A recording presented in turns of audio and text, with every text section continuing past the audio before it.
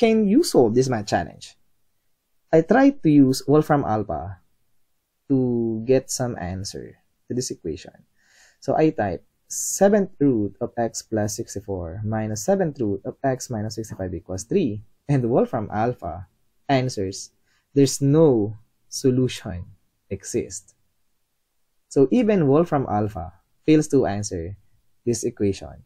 So the question, can you solve this math challenge? And here's the question. So given that x is a real number that satisfies this equation, 7th root of x plus 64 minus 7th root of x minus 65 equals 3, then what is the value of x? So pause this video right now and see if you can answer this question because I will show you the solution in 3, 2, 1. Alright, so to answer this kind of question, so let's get our equation that we want to solve. And what we're going to do is to make this operation an addition. And to do that, let's have plus negative 1. Let's multiply this by negative 1. And that's legal. And take note, negative 1 or the seventh root of negative 1 is still negative 1. So we can put this negative 1 inside the seventh root, and this will give us seventh root of x plus 64 plus seventh root of 65 minus x equals 3. And that is equivalent to the given equation. So now we will focus on this for some reason. So the first one, we will let the seventh root of x plus 64 be equal to a and b be equal to the seventh root of 65 minus x. And from here, we can say that our original equation becomes a plus b equals 3. Now, if we raise both sides by 7, we get a raised to the power of 7 equals x plus 64. And if we raise both sides by 7, we get b raised to the power of 7 equals 65 minus x. Now, notice, we have positive x and negative x. So, when we add a raised to the power of 7 and b raised to the power of 7, we get 64 plus 65 or simply equivalent to 129. And from here, we will focus on these two equations. And since x is a real number, a and b are both real number as well. Now, by observation, take note when we get an answer of a comma b, the other solution, because this equation by symmetry the other solution is b comma a. Alright? And now, take note, this 129 is super close to the 128, which is 128 is 2 raised to the power of 7. And this one, we can rewrite this as 1 raised to the power of 7. Therefore, we can say, one of the possible values of a comma b simply equivalent to 2 comma 1 or other solution 1 comma 2. But the question is it enough that our answer is based on observation? Now here's the question. Is it the only real solution for A and B? So let's answer this question. Alright, so let's focus on these two equations. And to answer this, we will use some identities. So the first one, a cube plus b cube, we can rewrite this as a plus b cube minus 3 times ab multiplied by a plus b because we have a given for a plus b. Another identity is a raised to the fifth power plus b raised to the fifth power. We have a plus b raised to the fifth power minus 5 times ab multiplied by a cube plus b cube minus 10 times a squared b squared multiplied by a plus b. And the last identity that we need is a raised to the power of 7 plus b raised to the power of 7 equals a plus b raised to the power of 7 minus 7ab multiplied by a raised to the fifth power plus b raised to the fifth power minus 21 a squared b squared multiplied by a cube plus b cube minus 35 a cube b cube times a plus b. So let's use the first identity.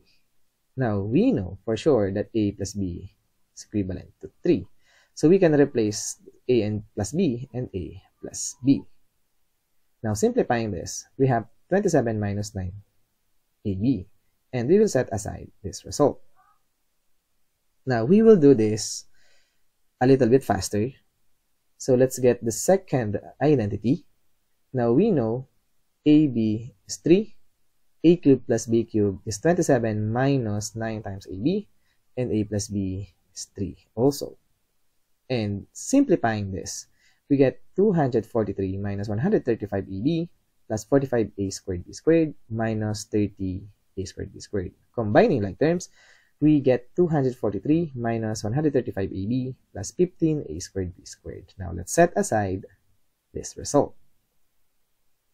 And using the last identity, let's replace ab because we know ab is 3.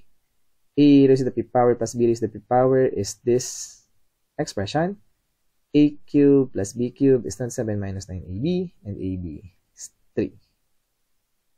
Now, simplify this and combining like terms, this will give us 2,187 minus 1,701 AB plus 378 A squared B squared minus 21 A cube B cube. And we will focus on this result. Now from here, we know A raised to the power of 7 plus B raised to the power of 7 is 129. That is given. Now, combining like terms, this 129 and 2,187, this will result to 2,058. And take note, all of these numerical coefficients are now divisible by 21. So let's divide all of this by negative 21 to make this term positive. And from here, take note that all of this is in terms of a times b we can rewrite this as ab raised to the power of 2 and this one is ab raised to the power of 3. So let t be equal to ab.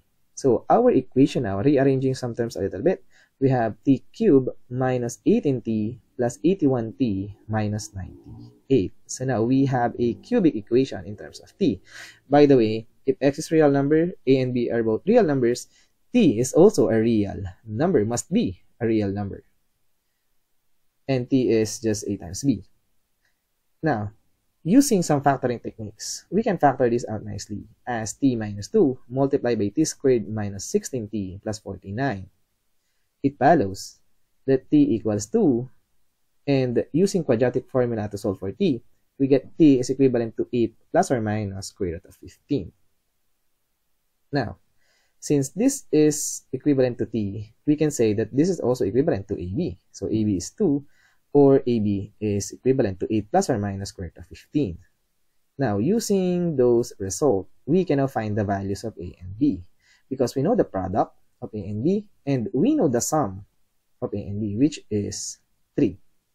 So, using the Vieta's formula, we know the sum and the product, we can create a quadratic equation. Now, let's use a variable y instead of x.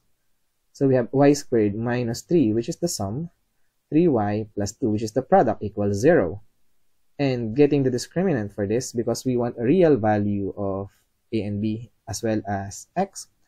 So the discriminant is b squared minus 4ac. b is negative 3.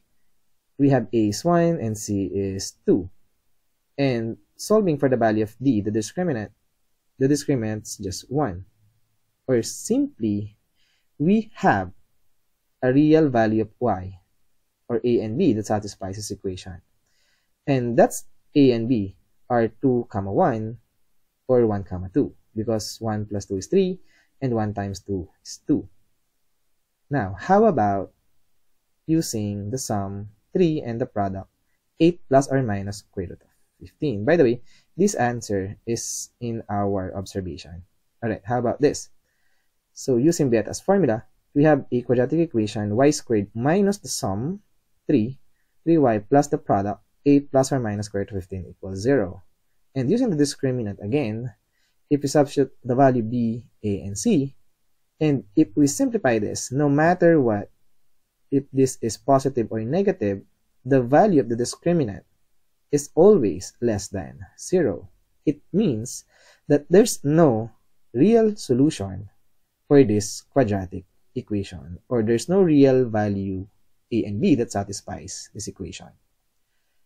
Therefore, the question is it the only real solution for a and b? And the answer is yes. That's the only real value of a and b that satisfies these two equations. So now let's proceed.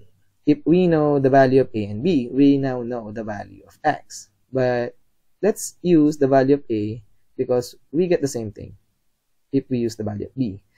So now if a is 2, so we have 2 is equivalent to this expression, 7th root of x plus 64. Solving for x, we get x equals 64.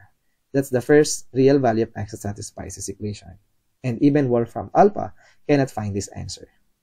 And if a is equal to 1, so we have 1 equals 7th root of x plus 64. And we get that the value of x simply equivalent to negative 63. And that is our answer to this question. Therefore, given that x is a real number that satisfies this equation, 7th root of x plus 64 minus 7th root of x minus 65 equals 3, then the possible values of x, the real values of x that satisfies this equation are x equals 64 or x equals negative 63. And as always, we are done.